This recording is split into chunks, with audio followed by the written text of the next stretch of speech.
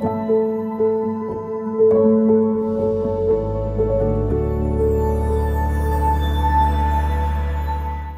a todos, estamos en el pabellón de América Latina y el Caribe organizado por CAF en el marco de la COP28 que se está celebrando en Dubái, donde los invitamos a eh, escuchar conversaciones con expertos y referentes sobre las oportunidades y los desafíos que supone la acción frente al cambio climático desde una perspectiva de la región. Y hoy nos acompaña el fotoperiodista Federico Ríos. Federico, gracias eh, por, por, estar aquí. Me permito decirte como periodista, o felicitaciones.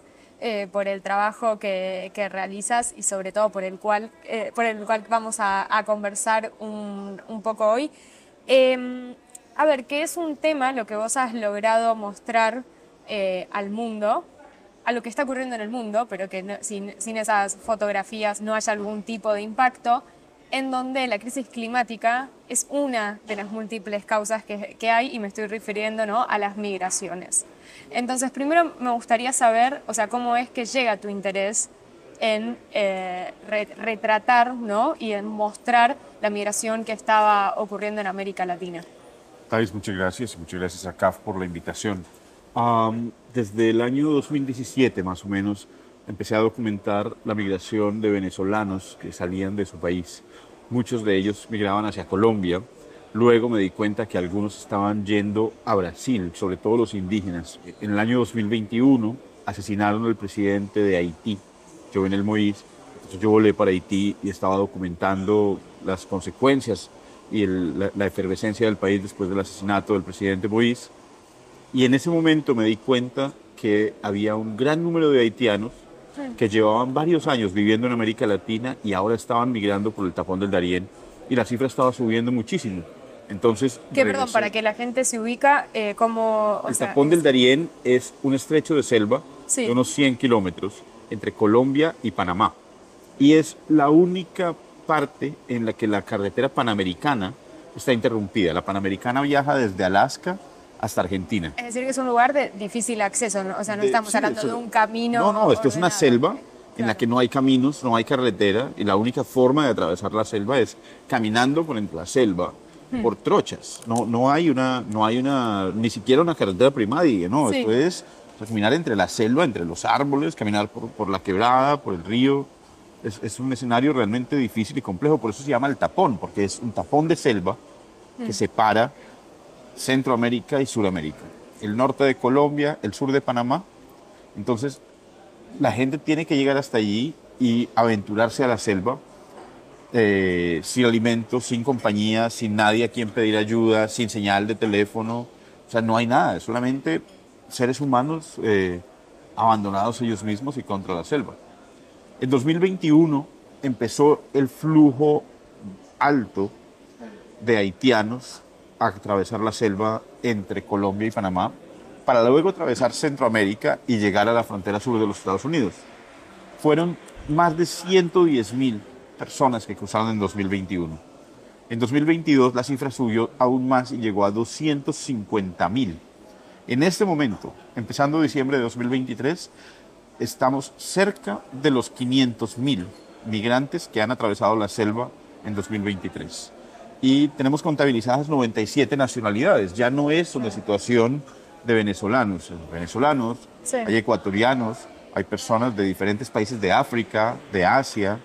Eh, justo esta mañana en New York Times publicamos un nuevo artículo en el que estamos hablando de cómo hay un gran número de migrantes que vienen desde la China, que llegan hasta, hasta, hasta Sudamérica, llegan a Colombia, atraviesan la selva del tapón del Darién y luego llegan a los Estados Unidos porque es la única forma que consiguen en medio de las autorizaciones, las visas, los vuelos legales o, o irregulares, pero, sí. pero es esto, entonces está convirtiendo un tramo de selva, que era un tramo de selva virgen además, en el que habitaban algunas pocas comunidades indígenas en unas condiciones muy aisladas, eh, y ahora se está convirtiendo en una de las rutas migratorias más importantes del sí, mundo. Creo que hay que no son Exacto. O sea, dignas, no, ¿no? Las, Siempre, condiciones, las condiciones son terribles. El, tú, lo que has logrado, digamos, con el trabajo y con las fotografías tiene que ver con darle rostro a las cifras, ¿no? porque muchas veces cuando hablamos de las cifras de migrantes son números y detrás de los datos hay, hay historias. Exacto. Y algo que la Organización Internacional de la Migración siempre dice que muchas, muchas veces es difícil trabajar en, en, cómo actuar ante la migración en la parte de las causas, porque la mayoría de las migraciones son multicausales. Eh, o sea, no hay un único factor, quizás uno es el impulsor, pero en verdad hay distintas variables climáticas, económicas, eh, sociales, políticas, o sea, de conflicto. En el acercamiento que vos tuviste con algunos de esos migrantes, ¿has tenido la posibilidad de, de conversar sobre qué es lo que ellos consideran que fue la principal causa que los llevó a migrar? Independiente de la causa, hay un factor común en todos los migrantes y es el desespero. O sea, empujar al ser humano a las condiciones de desesperación. Las causas son diversas. Sí. He hablado con muchos de ellos. Las causas pueden ser religiosas, políticas, económicas, sociales, ah, ambientales también. Pero en medio de esa diversidad de motivaciones, el factor común es el punto de desespero. Los migrantes que atraviesan la selva Darién arriesgan su vida y arriesgan la vida de sus seres queridos. Muchas veces van con sus hijos, con sus esposas, con sus esposos, con sus hermanos, con sus familias, incluso con sus padres. He visto ancianos, personas de la tercera edad, a las que se les hace difícil caminar, tener que caminar durante más de 10 días en la selva, sin ningún tipo de, de apoyo, de soporte. O sea, esto es, es que caminar 10 días en la selva es algo que ni siquiera eh, un, un- un maratonista está Sí. preparado para hacer.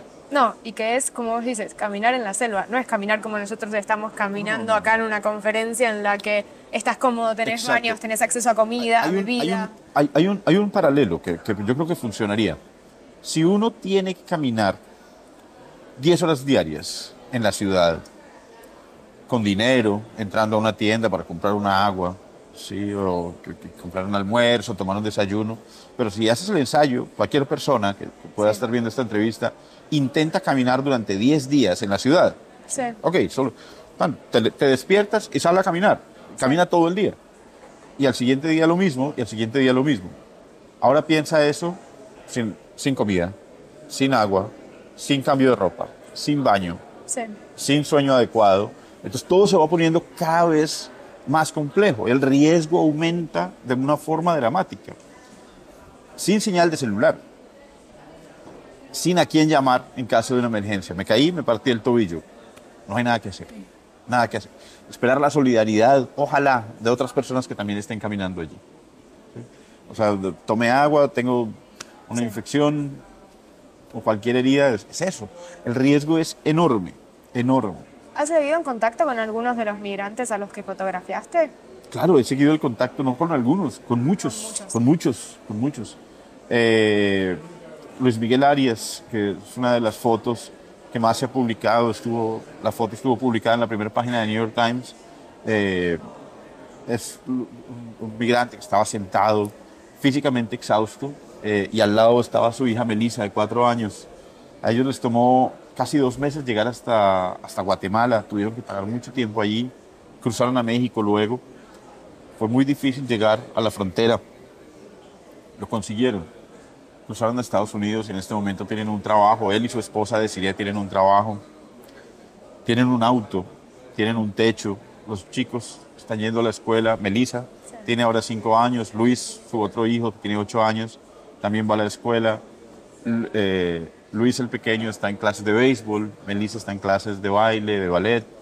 Ah, entonces es muy difícil porque ellos han conseguido unas condiciones mínimas, Sí. unas condiciones que, Que para- todos deberían. que, Sí. que- que deberían ser, la, la- digamos, el- el- la normalidad, ¿no? Sí. Y para ellos en donde vivían han sido tan difíciles las situaciones que el desespero los ha empujado. Intentaron primero vivir en Colombia, eh, salieron de Venezuela y, y llegaron a Colombia. Luis Miguel fue mototaxista en un pueblo pequeño que se llama Buga y trabajando muy duro, no conseguía llegar al final de mes, no conseguía poner a sus hijos en la escuela, ni tener una alimentación medianamente decente. Am, comprar un auto ni siquiera estaba en sus planes. O sea, estaba tan lejos de sus posibilidades que eso ni siquiera era parte de sus planes. Hace aproximadamente un mes Luis Miguel me mandó el video el día que llegó a su casa. Fue le dijo a sus hijos que fuera estaba el auto. Y salen estos dos niños, 5 y 8 años, por primera vez tienen un auto. Y eso para ellos era tan increíble, tan, tan alucinante. Y tú ves las caras de ellos, como una felicidad, como, como de otro mundo, porque, porque es tan lejano eso que para muchas personas es como tan cotidiano, Sí. que para ellos era, era increíble. Era como si, si ahora nos dicen, oye, mira, hay un transbordador espacial allá afuera que nos va a llevar a Marte a dar Sí. un paseo. Como algo que ni te imaginas. ya, digamos, en el, en el lugar de, de destino, el migrante no tiene que ser visto como un problema, sino incluso hasta como una oportunidad, ¿no? En el desarrollo. Me gustaría, sé que estás como con me, Sí, me emotivo al pero en eso, en, en sí. eso, en eso quería decir también algo, y es que la mayoría de los migrantes con los que continúo Sí. teniendo contacto después de que han llegado a sus lugares de destino, están todos trabajando, muchos incluso trabajando turnos dobles, consiguen un, un permiso y es que, es que yo pienso que, que- que lo primero es eso, como entender qué, qué hace el migrante, por qué está migrando. Y el común denominador, como te lo dije, es que está desesperado. Pero hay un segundo denominador también muy común y es llegar a trabajar. El migrante no es vago, el migrante no es eh, una persona que está esperando pues, ser subsidiada, sino es, es eso, o sea, llegan a trabajar, a trabajar, a trabajar, a tratar de procurarse para ellos mismos una vida, pero a encajar en un engranaje social importante que hace que los países se sigan moviendo.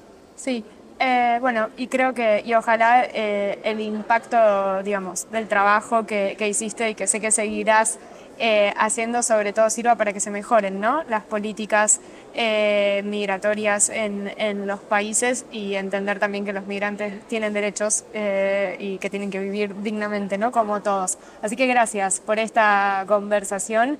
Eh, y nada, estoy seguro que a quienes has fotografia- fotografiado y sigues en contacto con ellos, te deben agradecer mucho y, y sos parte de todo lo que ellos han llegado a hacer. Muchas gracias, Thais. Muchas Muchas gracias. Los invitamos a seguir las redes sociales de CAF para conocer las próximas conversaciones sobre las oportunidades y los desafíos que supone la acción frente al cambio climático. Muchas gracias.